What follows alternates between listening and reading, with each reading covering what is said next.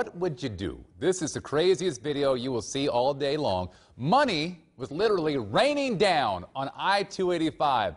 On I-285, a viewer sent us this video showing cash all over the highway in Dunwoody last night. And oh, looky, looky here. People just happened to pull over to take a look at this cash and put some in their cars. Dunwoody police tell us an armored car's side door flew open near Ashford Dunwoody Road, causing that money to fall out. Now, I've been watching this video here.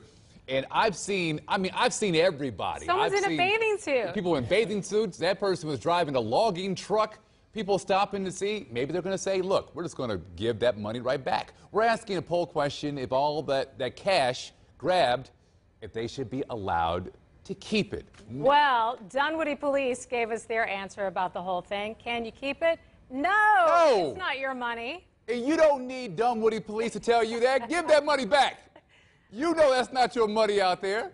I'd love to hear the conversation between the armored car crew. Did you lock the door? I didn't lock lock the the door? door. Did Look, you lock the something door? happened. You locked the door. Look, Where'd that money go? Look, I saw some money. I stopped to get it to give it back to the rightful people. That's, That's what you would tell police. that's what I'd say. Uh,